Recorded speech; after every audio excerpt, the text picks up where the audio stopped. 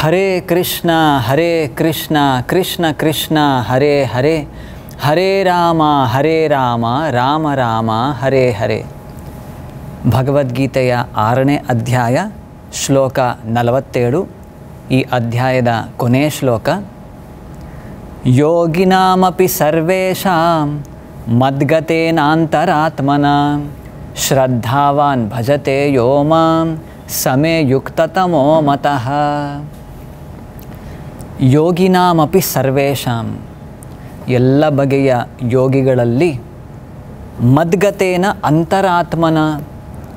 ಯಾರು ಕೃಷ್ಣನ ಪರ ಇದ್ದಾರೆ, ಕೃಷ್ಣನನ್ನು ತಮ್, ತಮ್ಮ ಹೃದಯದಲ್ಲಿ ನೆಲೆ ನಿಲ್ಲಿಸಿದ್ದಾರೆ ಶ್ರದ್ಧಾವಾನ್ ಭಜತೆ ಯೋ ಮಾಂ ಶ್ರದ್ಧೆಯಿಂದ ಭಗವಂತನ ಭಕ್ತಿ ಸೇವೆಯಲ್ಲಿ ತೊಡಗಿದ್ದಾರೆ. ಸಮೇ ಯುಕ್ತತಮೋ ಮತಃ. ಅವರು ಎಲ್ಲರಿಗಿಂತ ಉನ್ನತವಾದವರು, ಉನ್ನತ ಹಂತದಲ್ಲಿದ್ದಾರೆ. ಭಗವಂತನ ಜೊತೆ ಅಂತಹವರು ನೇರ ಸಂಪರ್ಕವನ್ನು ಕಲ್ಪಿಸಿದ್ದಾರೆ.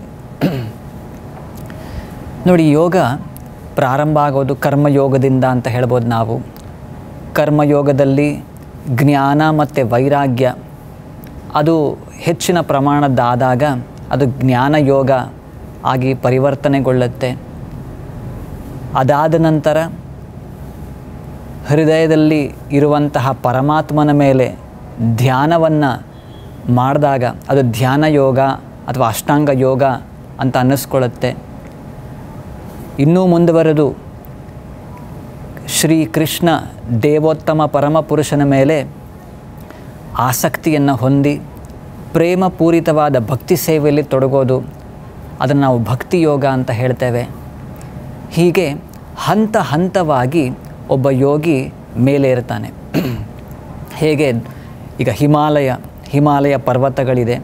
ಅಲ್ಲಿ ಹಲವಾರು ಒಂದು ಪರ್ವತ ಬೆಟ್ಟಗಳಿವೆ. ಅದರಲ್ಲಿ ನಾವು ಏನು ಮೌಂಟ್ ಎವರೆಸ್ಟ್ ಬಹಳ ಎತ್ತರವಾದದ್ದು ಅಂತ ಹೇಳ್ತೇವೆ.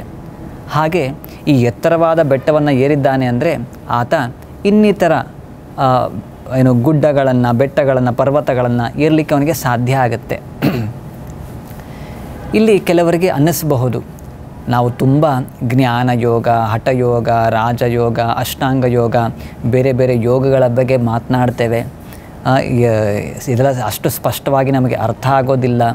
ಇದರಲ್ಲಿರುವಂತಹ ವ್ಯತ್ಯಾಸಗಳಿರಬಹುದು ಅಥವಾ ಯಾವುದು ಶ್ರೇಷ್ಠ ಇವೆಲ್ಲವೂ ಕೂಡ ಇತ್ಯಾದಿ. ಬಹಳಷ್ಟು ಜನ ಈ ರೀತಿ ನಮಗೆ ಹೇಳ್ತಾರೆ. ಬ, ಇವೆಲ್ಲವೂ ಕೂಡ ನಮ್ಗೆ ಅರ್ಥ ಆಗದೇ ಇದ್ದರೂ ಪರವಾಗಿಲ್ಲ. ಈ ಆರನೇ ಅಧ್ಯಾಯದ ಈ ಒಂದು ಕೊನೆಯ ಶ್ಲೋಕವನ್ನು ನಾವು ಸರಿಯಾಗಿ ಮನದಟ್ಟು ಮಾಡಿಕೊಂಡ್ರೆ ಸಾಕು.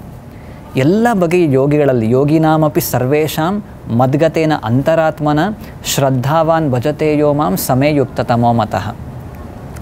ಶ್ರೀಮದ್ ಭಾಗವತ ಪುರಾಣದಲ್ಲಿ ಒಂದು ಕಥೆಯನ್ನು ಹೇಳ್ತಾರೆ. ಆ ಕಥೆಯ ಮೂಲಕ ನಾವು ಅರ್ಥ ಮಾಡ್ಕೊಳ್ಳಿಕ್ಕೆ ಪ್ರಯತ್ನ ಪಡೋಣ. ಭಗವಂತನ ಜೊತೆ ಸಮಯುಕ್ತ ತಮೋಮತಃ ತಮೋ ಮತಃ ಈ ಒಂದು ಹಂತಕ್ಕೆ ಏರಬೇಕು ಅಂದರೆ ನಾವು ಬಹಳ ದೊಡ್ಡ ಪಾಂಡಿತ್ಯವನ್ನು ಶ ಏನು ಶಾಸ್ತ್ರದ ಅಧ್ಯಯನವನ್ನು ಯೋಗಾಭ್ಯಾಸಗಳನ್ನು ಎಲ್ಲವನ್ನೂ ಕೂಡ ಮಾಡಿರಲೇಬೇಕು ಅಂತ ಏನಲ್ಲ. ನಾವು ಭಾಗವತ ಪುರಾಣದಲ್ಲಿ ಬ್ರಾಹ್ಮಣ ಪತ್ನಿಯರ ಕಥೆಯನ್ನು ಕೇಳ್ತೇವೆ. ಕೃಷ್ಣ ಮತ್ತು ಬಲರಾಮರು ಹಸುಗಳನ್ನು, ಕರುಗಳನ್ನು ಮೇಯಿಸಲಿಕ್ಕೆ ಕಾಡಿಗೆ ಕರ್ಕೊಂಡು ಹೋಗಿರ್ತಾರೆ. ಒಂದು ದಿನ ಕೃಷ್ಣ ಮತ್ತು ಬಲರಾಮರು ಅವರ ಎಲ್ಲ ಸ್ನೇಹಿತರು ಎಲ್ರಿಗೂ ಬಹಳ ಹಸಿವಾಗತ್ತೆ. ಅವರ ಎಲ್ಲ ಸ್ನೇಹಿತರು ಕೃಷ್ಣನನ್ನು ಕೇಳ್ತಾರೆ.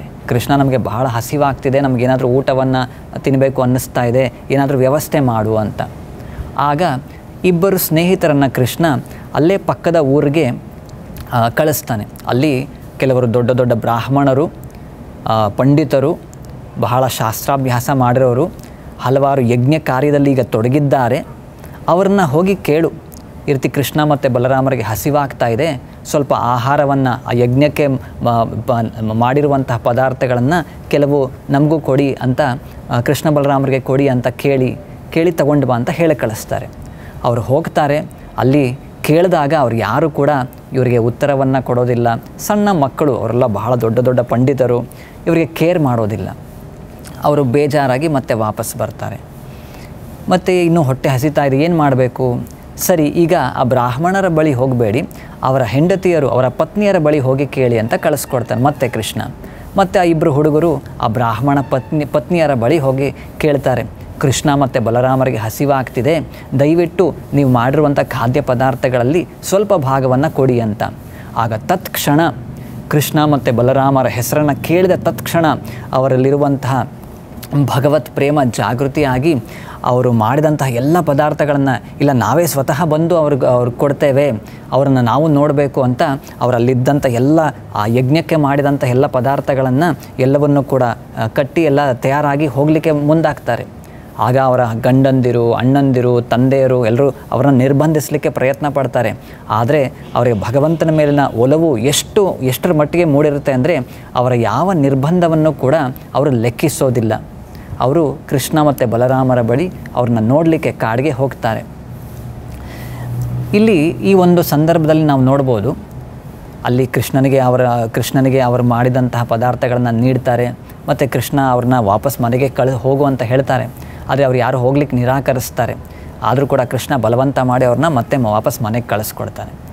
ಅಷ್ಟರಲ್ಲಿ ಆ ಬ್ರಾಹ್ಮಣರಿಗೂ ಕೂಡ ಏನು, ಇದು ಒಂದು ಮನ, ಮನವರಿಕೆ ಆಗುತ್ತೆ. ಹೌದು, ವೇದ, ಶಾಸ್ತ್ರ ಇವೆಲ್ಲವನ್ನು ಓದೋದು, ಎಲ್ಲ ಬಗೆಯ ಯೋಗ ಅಭ್ಯಾಸ ಮಾಡೋದು, ಕೊನೆಯಲ್ಲಿ ನಾವು ಭಗವಂತನ ಆಶ್ರಯವನ್ನು ಪಡ್ಕೊಳ್ಳಿಕ್ಕೆ. ಅದೇ ಸಾಕ್ಷಾತ್ ಭಗವಂತ ನಮ್ಮ ಬಳಿ ಬಂದರೂ ಕೂಡ ನಾವು ಅವನ್ನ ಗುರುತಿಸಲಿಕ್ಕೆ ಸಾಧ್ಯ ಆಗಿಲ್ಲ. ನಮ್ಮ ಬಳಿ ಏನನ್ನೋ ಅವನು ಕೇಳಿದ್ರೂ ಕೂಡ ನಮಗೆ ನಾವು ಅವನ ಸೇವಾ, ಸೇವೆಯನ್ನು ಮಾಡಲಿಕ್ಕೆ ಅವಕಾಶ ಸಿಕ್ಕಿದ್ರೂ ಕೂಡ ಅದನ್ನು ನಾವು ಪಡ್ಕೊಳ್ಳಿಲ್ಲ. ಆದರೆ ಈ ನಮ್ಮ ಪತ್ನಿಯರು, ಹೆಂಡತಿಯರು, ಇವರು ಶಾಸ್ತ್ರದಲ್ಲಿ ಅಷ್ಟು ನಿಪುಣರಲ್ಲ. ಎಲ್ಲ ಯಜ್ಞ ಕಾರ್ಯವನ್ನು ಮಾಡಿರೋರಲ್ಲ. ಆದರೂ ಕೂಡ ಇವರಿಗೆ ಅವ್ರ ಮೇಲೆ ಒಲವು ಹೇಗೆ ಇಷ್ಟು ಮೂಡಿತು ಅಂತ ವಿಚಾರ ಮಾಡ್ತಾರೆ. ಇದಕ್ಕೆ ಉತ್ತರ ಏನು ಅಂದರೆ, ಅವರು ಯಾವಾಗಲೂ ಕೂಡ ವೃಂದಾವನದಿಂದ ಬಂದು, ಬರ್ತಿರುವಂತಹ ಯಾರು ಹಣ್ಣುಗಳನ್ನು ಮಾರಾಟ ಮಾಡುವರಿರ್ಬೋದು ಅಥವಾ ಹಾಲು ಮಾರಾಟ ಮಾಡಿರೋರು, ಮಾಡ್ತಿರೋರು, ಅವರೆಲ್ಲರ ಬಳಿ ಕೃಷ್ಣ ಮತ್ತು ಬಲರಾಮರ ಬಗ್ಗೆ, ಅವರ ಲೀಲೆಗಳ ಬಗ್ಗೆ, ಗುಣಗಳ ಬಗ್ಗೆ ಸದಾ ಕಾಲ ಶ್ರವಣ ಮಾಡ್ತಿರ್ತಾರೆ, ಕೇಳಿಸ್ಕೊಳ್ತಿರ್ತಾರೆ. ಅದನ್ನೇ ಧ್ಯಾನ ಮಾಡ್ತಿರ್ತಾರೆ, ಅದನ್ನೇ ನೆನಪು ಮಾಡ್ಕೊಳ್ತಿರ್ತಾರೆ. ಈ ರೀತಿ ಮಾಡಿ ಮಾಡಿ ಮಾಡಿ ಅವರು ಪರಿಶುದ್ಧರಾಗಿ ಭಗವಂತನ ಮೇಲಿಂದ ಒಂದು ಆಸಕ್ತಿಯನ್ನು, ಪ್ರೇಮವನ್ನು ಅವರು ಕಂಡುಕೊಂಡಿದ್ದ, ಆ ಒಂದು ಹಂತವನ್ನು ಪ್ರೇಮಪೂರಿತವಾದ ಭಕ್ತಿ ಸೇವೆಯನ್ನು ಅವರು ಮಾಡಲಿಕ್ಕೆ ಅರ್ಹರಾಗಿರ್ತಾರೆ ಆ, ಎಲ್ಲ ಬಗೆಯ ಸಾಧನೆಯಲ್ಲಿ ಉತ್ಕೃಷ್ಟವಾದಂತಹ ಭಗವತ್ ಪ್ರೇಮ ಹಂತವನ್ನು ಅವ್ರು ಏರಲಿಕ್ಕೆ ಸಾಧ್ಯ ಆಯಿತು. ಇದು ಹೇಗೆ? ಭಗವಂತನ ಬಗ್ಗೆ ಸದಾಕಾಲ ಶ್ರವಣ ಸ್ಮರಣ ಇತ್ಯಾದಿ. ಈ ರೀತಿಯಾಗಿ ನಾವು ಮಾಡಿದಾಗ ನಾವು ಕೂಡ ಈ ರೀತಿಯ ಒಂದು ಉನ್ನತವಾದ ಯೋಗದ ಒಂದು ನೆಲೆಯಲ್ಲಿ ನಿಲ್ಲಕ್ಕೆ ನಮಗೂ ಕೂಡ ಸಾಧ್ಯ ಆಗುತ್ತೆ. ಇದರ ಬಗ್ಗೆ ಇನ್ನೂ ಹೆಚ್ಚನ್ನು ನಾವು ಮುಂದಿನ ಸಂಚಿಕೆಯಲ್ಲಿ ಏಳನೇ ಅಧ್ಯಾಯದ ಮೊದಲನೇ ಭಾಗದಲ್ಲಿ ಕಾಣ್ತೇವೆ ಹರೇ ಕೃಷ್ಣ.